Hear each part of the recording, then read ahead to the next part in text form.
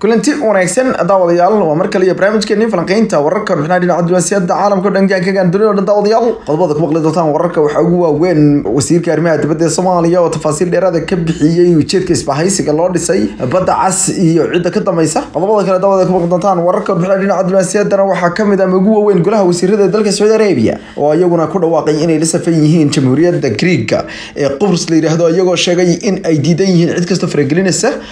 Kiiskii ugu horreeyey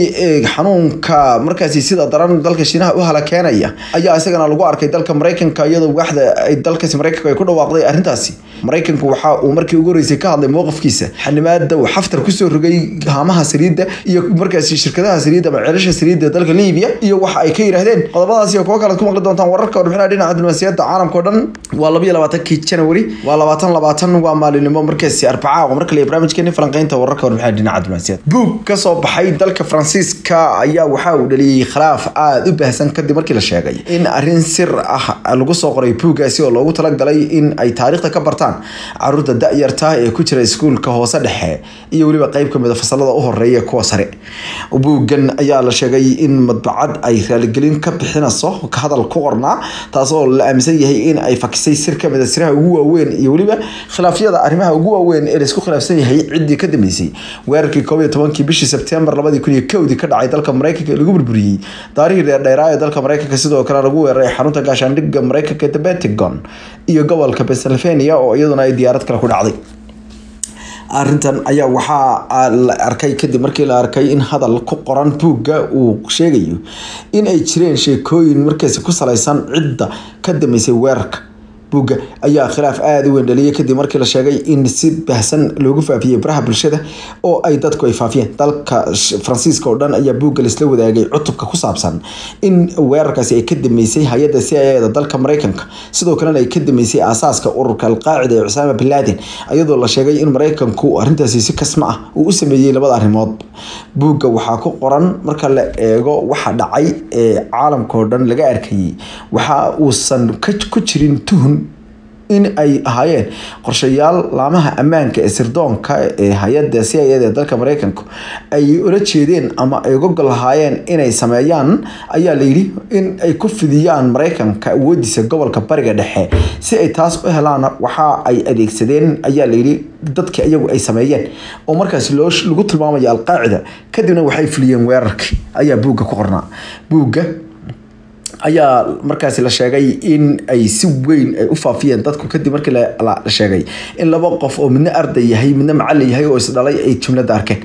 Waaxda daabacadda buuggaasi gacanta ku haysay ayaa raaligelin ka bixisay arrinta waxayna sheegeen in iyadoo ay jiraan sheekooyin waaweyn oo ku saabsan qadiyadaasi inay ahayd sheekadan oo sheeko sir ah oo aan la hubin oo male awaal la noqon karaysa saddex kun oo qof ka badan ayaa ku dhintay sagaal iyo toban ka hor weerarkii ka dhacay daaraha dhaadheeraa ee maraykanka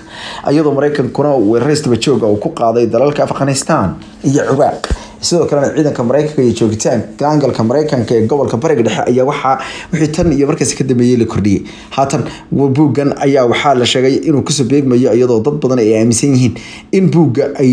in arrimaha noocaas kale buugga qoray ay jiraan. Wargeyska li monde ee dalka faransiiska ka soo baxa ayaa waxa uu ku tilmaamay in qadiyadan ay ahayd mid isjiidatay warbaahin kale oo caalamka o ka tirsan ayaa qoraallo waaweyn ka sameeyey sheekada buugga ku soo baxday. Buugga ayaa waxa ay dad badan u arkaan in sheekadan uu qoray ay tahay xaqiiq. Dad badan oo dadka da-yarta ee dalka maraykanka ayaa sheegay in waxa ku qornaa bogga laba boqol iyo afraad ee buuggan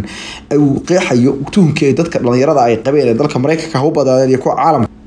Kuwaasoo mar walba aaminsanaa ayaa layidhi in ay si xoogan u jirto. Waxa ku saabsan cidda ka dambeysay weerarkaasi jean per roger oo ah macalinka isagu qoray buugga ayaa waxa uu ka soo baxay jaamacadda po ee magaalada paris ee xarunta dalkaasi wuxuuna yahay markaasi nin ku horreeya cilmiga sayniska iyo juqraafiga. Taariikhda ayuu sidoo kale wax ka dhigaa buuggan waxaa marka hore la sheegay in diiradda lagu saarayay dhacdooyinkii taariikhda ee qarnigii labaatanaad ee dunida ka dhacay gaar ahaan kuwii faransiiska iyo guud kuwii reer yurub ka dhacay iyadoo sidoo kale la sheegayay in la doonayay in da-yarta cilmigooda kor loogu qaado. Qadiyadan hadeerta ku soo baxday buugga ayaa sidoo kale waxaa ka cawday warbaahinaha waaweyn ee dhinaca sirdoonka caalamka oo sheegay in si aan xigasho ahayn buugga loogu qoray macluumaad ay horey u baahiyeen. Dad badan ayuu markaasi barnaamijyo waaweyn sameeyey iyo baxdiyo. Ayaa horey u sheegay inay hubaal tahay in maraykanka hay'adiisa c i a da ay wax badan ka ogtahay ama ay si un ugu lug lahayd weerarkii sebtembar ka dhacay dalka maraykanka halkaad nagala socotaan daawadayaal oo wararkii warbixinaha dhinaca diblomaasiyadda caalamka o dhan qodobo waaweyn iyo warbixino kala duwan. Ayaa inoo soo socda daawasha qiimaha leh ee farino kaba qodna wararka waaweyn iyo wacalaha caalamka o dhan. Ee wasiirka arrimaha dibadda ee soomaaliya axmed ciise cawad ayaa waraysi meelo badan taabanaya oo siiyey wargeyska sharqal awsat ee dalka saudi arabia ka soo baxa. Sidoo kalena fadhigiisu yahay magaalada london xarunta kule ee dalka britain ayaa waxa uu kaga hadlay arrimo waaweyn oo ay ka mid tahay qadiyaadka ku saabsan isbaahaysiga sacuudigu horbooday ee loo dhisay dalalka geeska africa iyo kuwa badda cas isagoo la sheegay in ay ka sidoo kale wasiirka uu ka hadlay arrimo dhowr. Isbaahaysiga ay ku jiraan dalal dhowra oo uga horeysa dalalka soomaaliya dalalka soomaaliya jabuuti sacuudi arabia dalka la yidhaahdo sudan masar jordan yeman iyo dalka eritrea. Ayaa waxaa la aaminsan yahay in sideeda dalo ay doonayaan inay iska kaashadaan arrimo dhowr wasiirka arrimaha dibadda axmed ciise cawad ayaa sheegay in arrimaha ugu waaweyn loo sameeyey qadiyadan ay tahay in lagu xoojiyo amniga iyo badqabka badda cas iyo dalalka kale ee ku xeeran. Iyo sidoo kale waxaa layidhi isku socodka habsamay socodka iyo qulqulka maraakiibta iyo goobta istaraatiijiga waxa uu sheegay wasiirka arrimaha dibadda ee soomaaliya axmed ciise cawad in sidoo kale arrintani wax weyn ka tari doonto. Qadiyada ku saabsan ayuu yidhi in hagaago xiriirka cilaaqaaneed ee dhinaca dhaqandhaqaale ee dalalka. Sidoo kale wargeyska ayaa wax ka weydiiyey wasiirka cilaaqaadka xumaaday ee dalalka soomaaliya iyo iskutaga imaaraadka carabta wuxuuna sheegay inay jiraan dalal doondoonaya inay isku soo dhaweeyaan imaaraadka iyo soomaaliya kuwaasoo looga golleeyahay in xaalada diblomaasiyeed ee dalalka la dejiyo. Waxa uu sidoo kale ku tilmaamay in qadiyaadka waaweyn hadeerta dalkiisa horyaala ay tahay inuu xoojiyo dowladnimada soomaaliya oo haatan ku soo aadan tahay. Markii shirkii carta ee dowladnimada soomaaliya lagu soo unkay mar dambe dib loogu soo unkay labaatan guradiisii loo dabaaldegaya isagoo madaxweynaha jamhuuriyadda jabuuti mudan ismaaciil cumar gelan uga mahad celiyey tallaabadii ay halkaasi ka qaateen.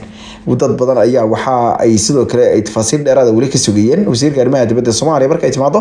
arrinta iyo weliba heshiiskaasi dabasha qiimaha leh. Barnaamijyada maad ka ogaan doontaan arrimahaas oo iyagana aynu warbixino ka diyaari doona haddii ba idmo fari kama qodno wararka wacalaha dhinaca diblomaasiyadda caalamka o dhan. Horta aan fiirinaya shirkadda powin ayaa ku dhawaaqday in ay gebi ahaan inay hakisay si markaasi kumeel gaara dheh soo saarista iyo three seven max war qoraal ay soo saartay powen ayaa ku sheegtay in si rasmi ah kor loogu hayo ama loo joojinayo sameynta shirkadda gaar ahaan aaga renton ee washington ayagoo sheegay in looga guleeyahay joojinta arrintaasi in la hakiyo lana hubiyo ayaa layidhi waxyaalo badan oo ku xiran modelka ama nooca diyaaradeed ee max waxa ay sheegtay in arintan ay looga gol in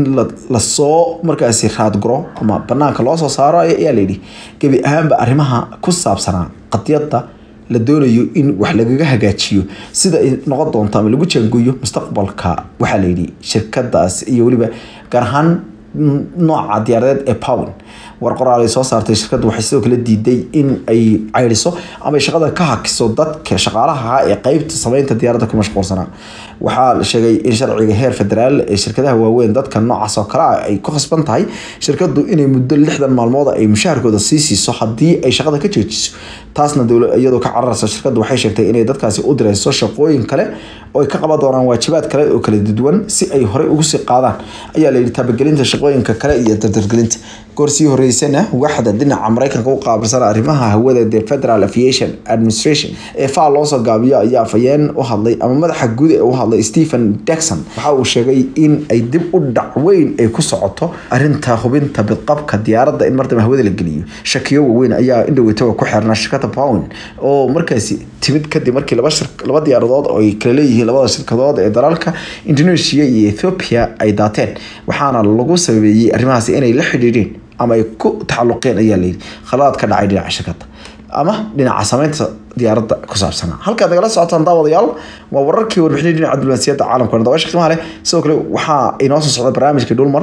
daawadayaal barnaamijyo badan baan idiin haynaa oo kala duwan oo hadday tahay barnaamijyo siyaasadeed tahay kuwo isgaarsiinta iyo dalka hooye ka jirta. Hadday sidoo kale daawasha qiimaha leh tahay kuwo markaasi waraysiyo kala duwan iyo weliba qodobo markaasi dhammaantood macno waaweyn inoo sameynaya. Oo aan doonayno inaan waraysiyada iyo barnaamijka dhulmar aan idinku daajino daawadayaal oo runtii aan jecelahay idinkuna inaad afkaartiina ka dhiibat dhiibataan ka hadashaan su'aalaha doonaysaan dadka in la weydiiyo sidoo kale aad sheegtaan. Dhammaantoodna arrimahaas oo dhan waxay si weyn uga qayb qaadan doonaan inaynu inaguna xoojino wararka wacalaha dhinaca diblomaasiyadda iyo inaanu keenno barnaamijyo kala duwan daawasha qiimaha leh annagoo mar walba idiin maqan haddii eeba idmo